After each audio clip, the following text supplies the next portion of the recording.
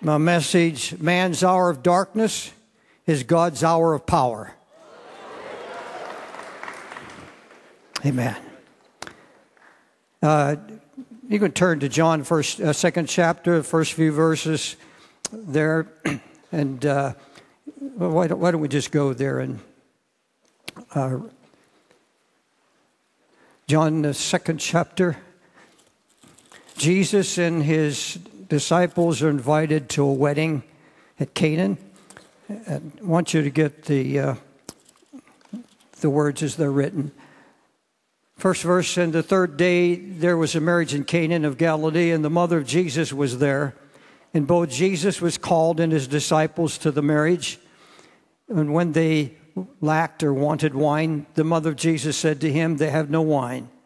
Jesus said unto her, Woman, what have I to do with thee? My hour is not yet come.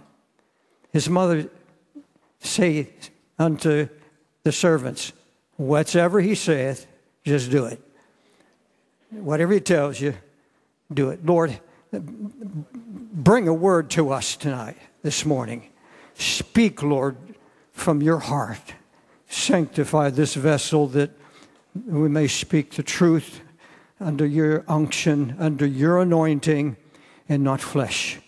We give you honor, we give you praise. Lord, we want to hear what your heart is saying in these times. Lord, we thank you. Lift our spirits this morning. In Christ's name, amen. The mother of Mary comes to Jesus at the wedding, and these weddings at that time would run five to seven days. I don't know how long this wedding had been going on, but there came a time when they ran out of wine. And Jesus uh, Mary goes to her son Jesus and said, Jesus, son, they're out of wine. And Jesus gives a rather strange answer. He said, Woman, and, and that, was, uh, uh, that was not uh, put down, that, that was applicable to the, to the generation at the time.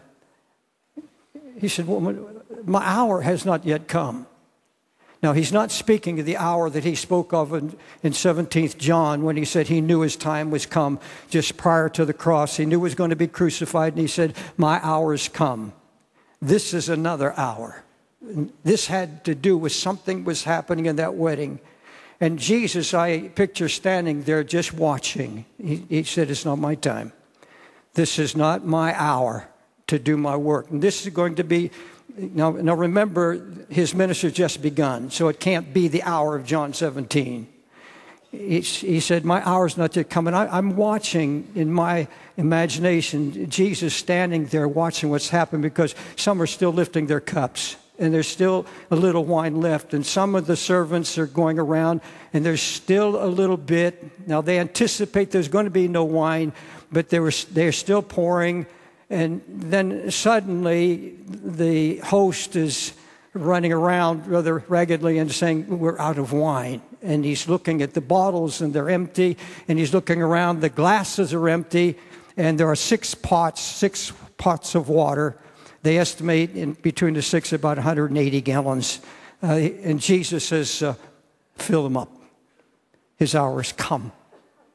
You see, the, the hour of God's power manifest almost consistently all through the Bible.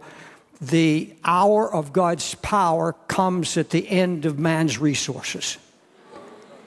His hour had come. He waited and waited until there's no other answer when the only thing that answers the situation is a miracle. There was no other way.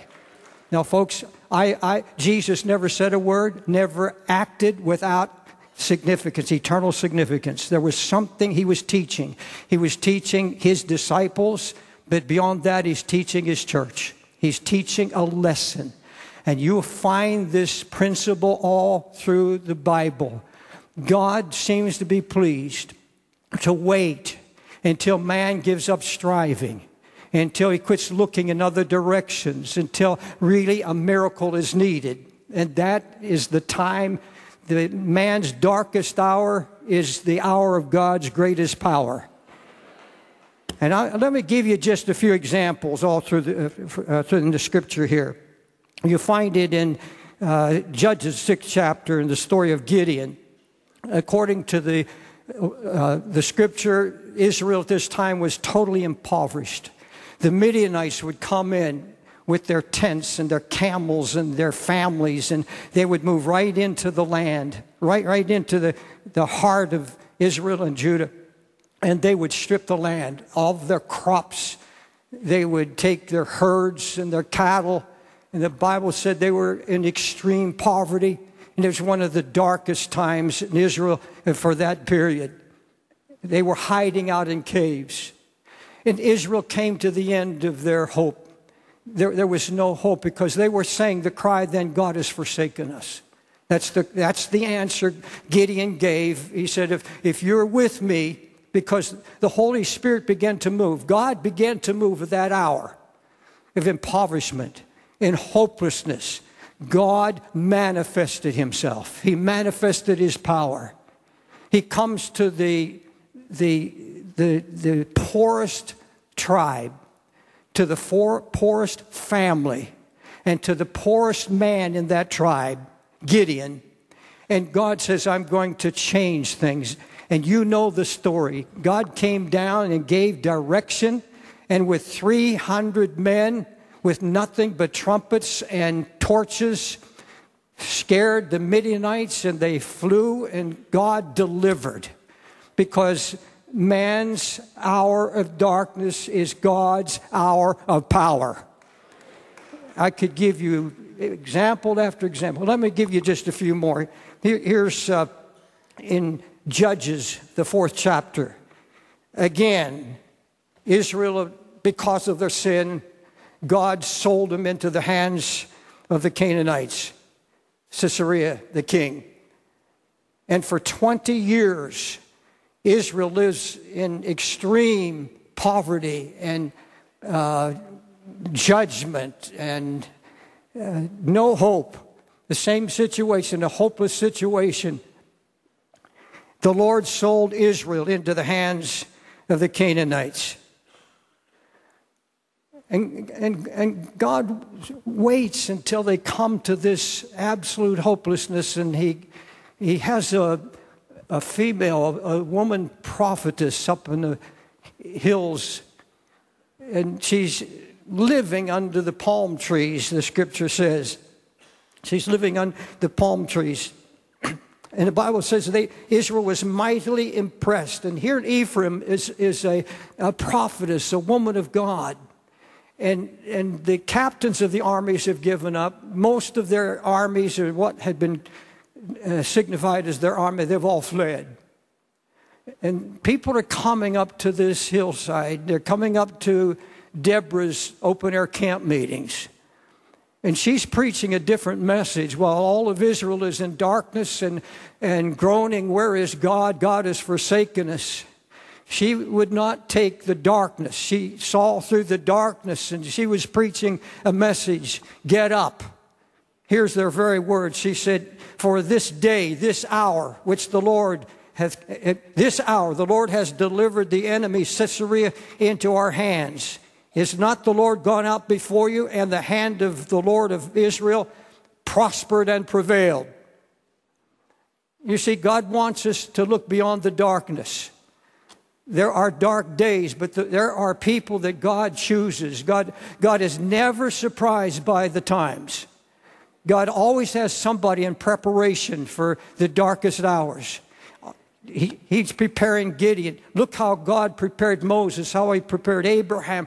He's always had a man in preparation, a woman in preparation, and he's always had a people that would follow. It's amazing me, it amazes me as I've been going through the scriptures, looking at this uh, principle of the Lord as he waits till that hour. But you see, during that waiting time, while the darkness mounts and grows begins to go gross, can become gross darkness. God has a plan, He has a people. This has to do with your life and mine as well. There comes a time in all of our lives that we reach a point where we feel we can't carry anymore. Some of you listening to me right now, you may be at that point where you have prayed and you've sought the face of God. And maybe you're praying for your children or for your grandchildren, your husband, your wife, or someone else. And you have prayed and you have fasted. And it seems that you, you see no evidence whatsoever of any change. Even though you've laid hold of God and prayed in the Spirit, and you've laid hold of God, and there are times you have felt you, you prayed through and, and you have the answer. And right now in this generation, I believe we have many parents that are praying. I have grandchildren that I'm praying for. And I, I have come to the place many times where I have, I have so felt that I prayed through and I see no evidence of it whatsoever. But, folks, I want you, I want you to know something that the Holy Spirit is standing by. The Holy Spirit knows the hour. He knows the time when their friends have failed them. He knows the time when their cup goes dry and they run out of wine. They wine out of the, the, the wine of the world, and God knows He's standing right by. There's all the Holy Spirit wine that we need fresh wine, new wine from heaven. And God knows the day, He knows the hour, and He's going to keep His word. So pray on, my friend. Pray on and seek the face of God.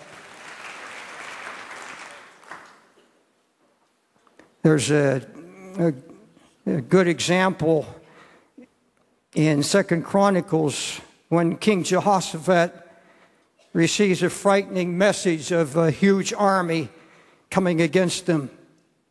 A messenger came and said, There's coming a great multitude against you from beyond the sea and this side of Syria.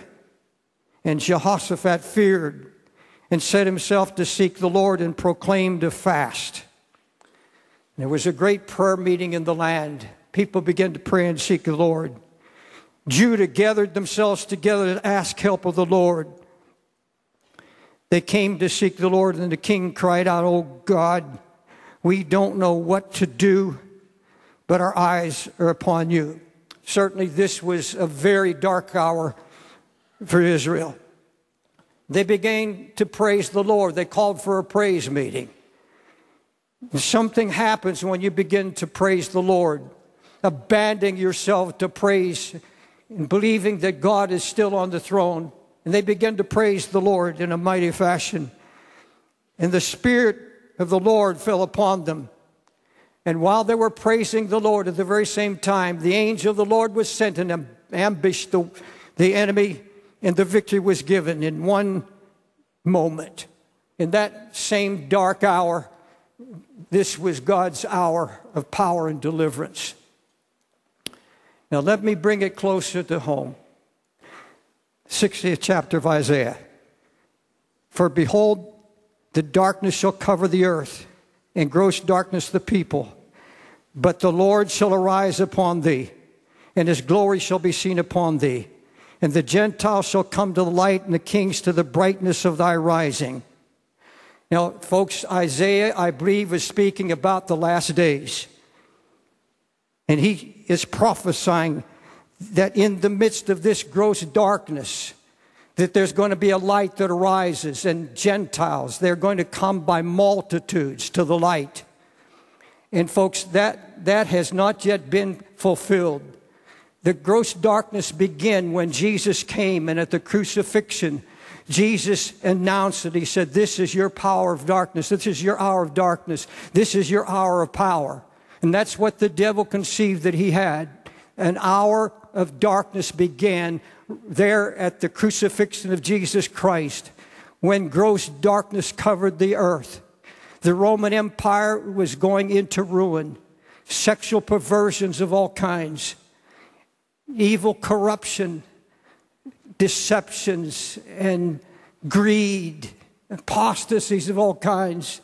And even among God's people, there was a hypocrisy. The priests were robbing widows' houses.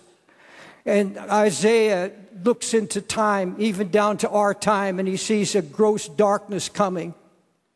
And, folks, there is a darkness in the land, there's a darkness in the nations today a, a gross darkness. That's a taste of hell, a darkness that can be felt. And, and the prophet Isaiah, in fact, that dark hours when Jesus, the light, broke forth, in that darkness, Jesus came as a light. And I want you to know that in this day of darkness, Jesus Christ is still the light of the world. He has come to, to break through the darkness. And folks, don't let your heart be burdened down with this darkness, the sins of mankind, the perversions that we see in here today. And all, folks, we're not to be focused. We, we're to listen to the prophetic voices, but we're not to be focused on that. Jesus said, You're not to just focus on the times. You're not focused on the times and the signs of the times. And you're not to allow the darkness to bring you down because in that darkness comes forth. The greater the darkness, the grosser the darkness, the greater the light of Jesus Christ. And I'm telling you, Jesus is still the light of the world. Hallelujah. I want to give you a few reasons why I believe that we are facing in this our time uh, a significant ingathering of lost souls.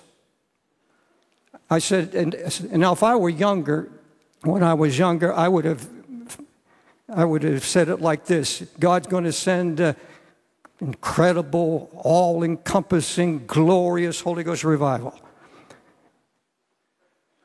I'm telling you that I believe, and I'm putting it simply, I believe with, with all my heart that what is coming is going to be amazing in gathering of many thousands of lost souls. I believe that. Let me give you, these are simple reasons, but in prayer this past week, I'm saying, Lord, how, how can we know this?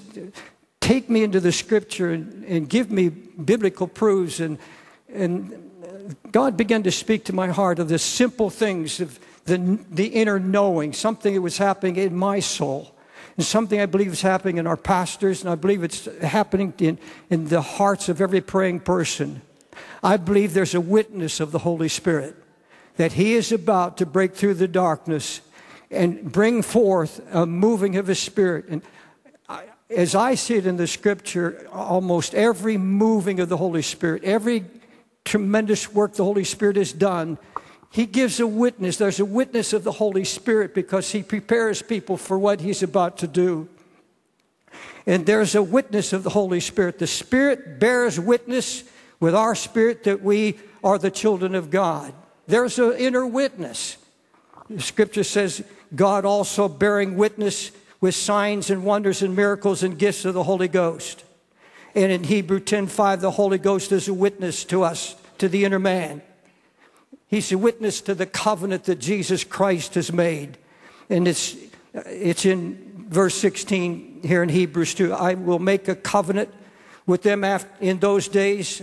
I will put my laws into their hearts and in their minds, and their sins and transgressions I will remember no more. I have a witness in my heart the same witness that tells me that I'm a child of God, the same witness that has borne witness down through the ages, they're all who walk with Christ. And I believe deep in your heart you know that because of these times, we live under a nuclear threat every day. We live in times where the bad news all the t- almost every day. But in these times, I believe that there's a witness uh, in your heart, God, you have to do something. Something has to be done. And you've made it clear that the church is not going to go out vanquished. It's not going to go out as a dark, in, in darkness. That the church of Jesus Christ is going to prevail. That God is going to be doing a work right to the very last moment. And there will be an ingathering. And I, I believe that that witness is in you if you've been seeking God. And I know that it's in my heart. And He is bearing witness he bears witness to the, the movings of His Spirit and the workings of His Holy Spirit. In a time of denominational deadness, when entire denominations are blessing same sex marriage and the Holy Spirit is leaving entire denominations, at the same time, He's stirring the hearts of His people. He's stirring a godly remnant And I, I have a stirring in my heart. It's not an emotional thing. It's something deep in the soul that says, God, this is who you are. God, this is how you work. You don't leave whole generations. You don't forsake generations because of the perversions. You don't forsake generations because the blood that you shed on the cross endures to the very last breath, to the last of the last days. And there's a witness of the Holy Spirit. There's going to be a great ingathering. the second reason is in, that, I, that God is moving in my heart and speaking to my heart. Now, I've been preaching for 58 years. And I hope I've come to know the voice of the Lord in some measure. And there's what we're seeing now is, is God laying hold of his people with a spirit of prayer. Who would have ever believed that there would be prayer meetings called down churches all over New York City? Who would have believed, even a few years ago, that 50,000 people would meet here in Times Square to pray? Who could have believed that a holy hush would fall over 50,000 people? And when it's time to pray, every head bowed and everyone looking to the throne of God. Who would believe that remember, uh, we're in a time now where so many conferences, conference after conference after conference on every subject. But the word that I'm hearing now from those who are still doing conferences, the Lord has called them to turn them into prayer conferences. And prayer, a spirit of prayer is laying hold of the true body of Christ. There's something God's saying, now's the time to pray.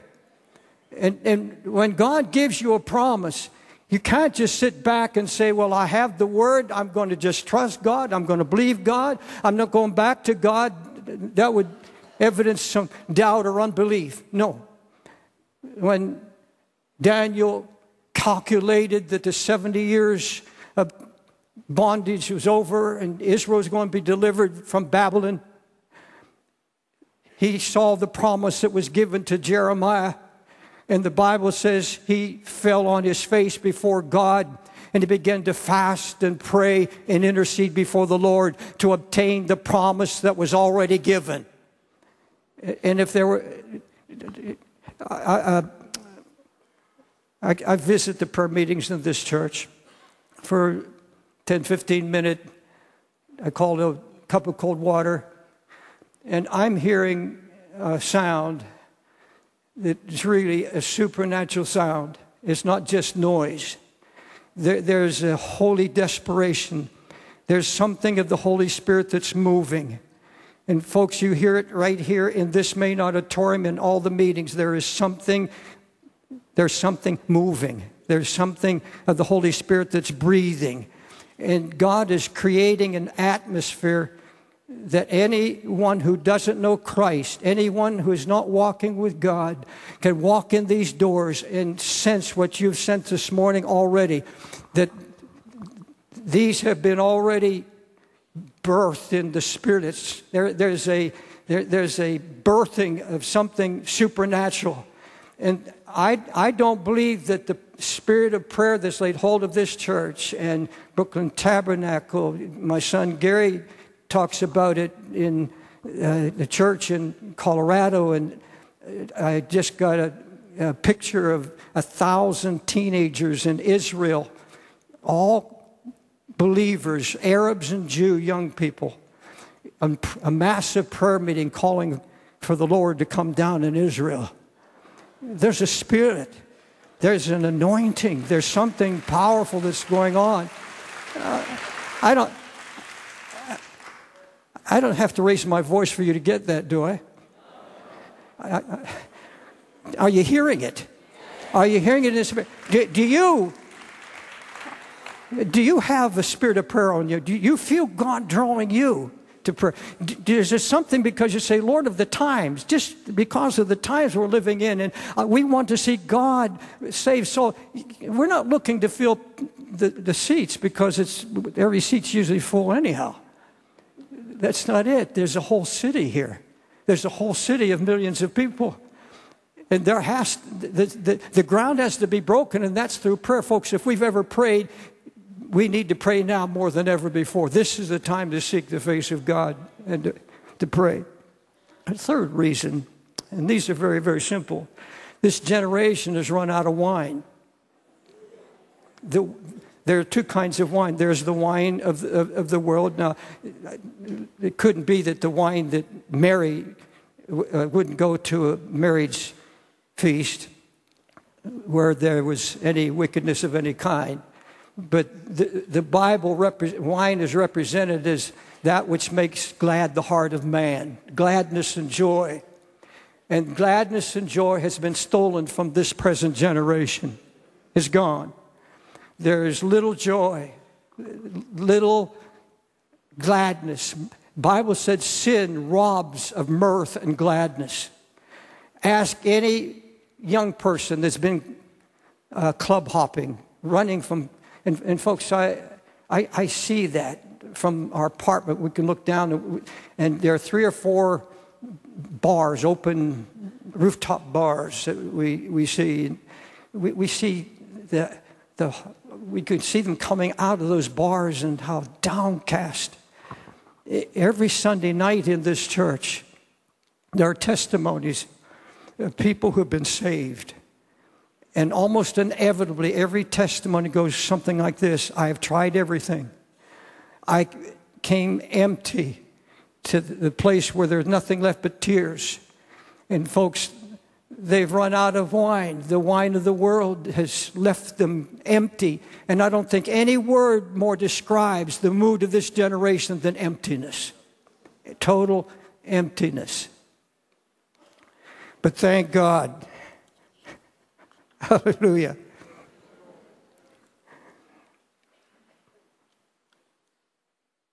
In light of this, what do we do? Mary just turned to the disciples and said, Just do what he tells you. Just do what he tells you. When you seek the Lord, the word comes. Now, there's, there's one other something that laid hold of my heart this morning. I was reading in Revelation 7. Jesus told us to work while it is day, for the night cometh when no man can work. In the seventh chapter of Revelation, there's a, an account of an unnumbered multitude, the multitude that can't be numbered, standing before God's throne, a multitude that no man could number from every nation and from all people, all tongues, and all nations, in white robes praising the Lord. And John was so overwhelmed by the sight of these white robed multitudes worshiping. And he said, Where did these come from? Who are these people? And the, the answer was, These are those who have come out of great tribulation. Out of great tribulation. Now, now, friends, I'm not going to talk about the great tribulation, whether Jesus comes pre trib, mid trib, or post trib. I've always said we can't lose trib. That's what I believe. but I'm not wanting to be facetious, but I want you to picture this, please. They've come out of great tribulation. Now, that describes many, many martyrs all down through the ages that have paid with their life. They've come through tribulation. But it doesn't answer, I believe, to this great multitude that's come out of great tribulation. Somewhere, somebody in, in the midst of tribulation, in the midst of darkness, in the midst of tribulation. Now, I, these came out of great tribulation. Somebody's been preaching to them. Somebody has been lifting up the light. The light is still shining through tribulation. And a great multitude have come out of this tribulation. Folks, my point is this no matter how dark it gets, no matter how difficult, we can't stop doing what God has called us to do. We can't we can't pull back what God has called us to do. Folks, I've ministered to you in weakness, but I know that God is speaking. I know God is bringing a word to our hearts. I stood in this pulpit years ago in the first service when we dedicated it. And I told that congregation just about what exactly what I'm telling you now. After all these years, and all the people that have been saved, the multitudes have been saved, these altars have always been graced with numbers of people that are coming to Christ. And I've prayed, God, in my time, as long as I live, let me see, let me be a part of what you're doing right up to the last breath or till Jesus comes, either.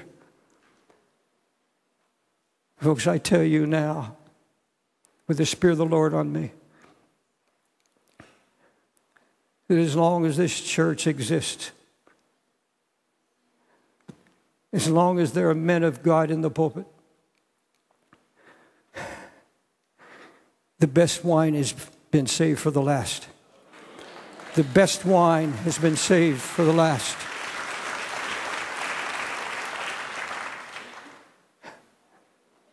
This is God's hour of deliverance. This is God's hour of power. This is not just an hour of judgment. This is for the church of Jesus Christ, its finest hour. And I, my heart is rejoicing. My heart is absolutely on fire with anticipation. Your sons and daughters your grandchildren. There's going to be something of conviction. There's going to be something of an anointing. There's going to be such an outpouring of this new wine. I hear the sound of rain, an abundance of rain, an abundance of rain.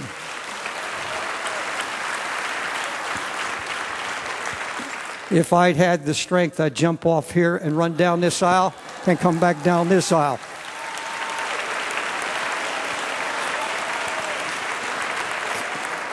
Could we have somebody at the piano? One of my all favorite songs is Jesus is the light of the world. Jesus is the light. Choir, can we sing that? I want you to stand, if you will, please.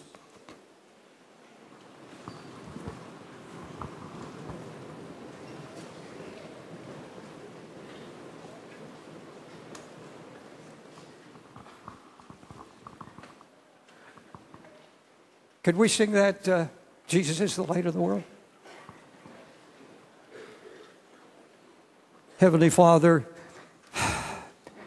as we think about the future and the good things that you have in store for your church, we think now of those that are standing here in the annex and here in the main auditorium. And some, Lord, that have grown cold in their spirit, cold in their heart towards you. I pray, Lord Jesus, that you would speak to their hearts. Lord, this is your hour, this is your time. I ask you, Lord, to speak to those who have drifted away from you or those that are here who don't know you. Will you draw them by your Spirit? Draw them, Lord, we pray. You said if we confess you before men, you'll confess us before the Father and all the angels of heaven.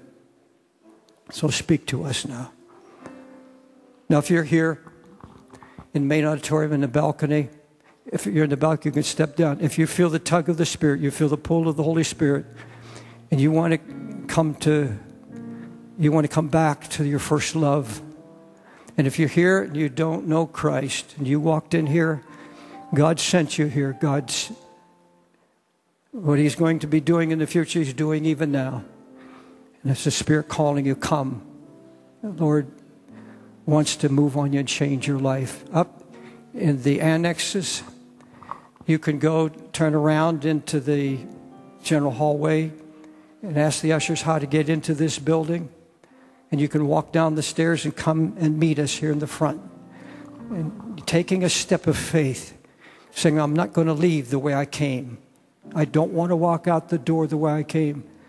And if you need Him, If there's a hungering and a thirsting after Him, just step out of your seat and come while we're singing. Now we're going to sing Jesus is the light of the world. Let that light touch your heart now in the closing parts of this service. Lord bless as you come. Now, for those that came to this altar today, Father, I pray, God, that you give everyone the ability to realize the great measure of your life that's available to those who trust in you. Lord, you bring, you bring joy out of despair, you bring freedom out of captivity, you bring clarity out of confusion. You bring strength out of weakness. That's who you are. That's what you do. That's the God that we serve. I pray, Lord, there be a joy break out, God, as there must have been on the wedding feast at Cana when they came to the governor of the feast and said, You brought out the best at the end. Most people bring out the worst, but you brought out the best. And Father, we thank you for this. Thank you for blessing these in Jesus' mighty name. Now let's give God a shout of praise in his house today.